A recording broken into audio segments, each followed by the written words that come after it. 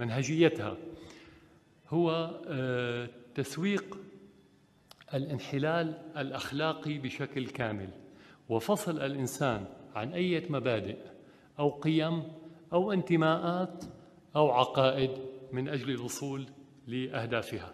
وكأمثلة عملية هذه الليبرالية الحديثة هي من سوق الزواج المثلي.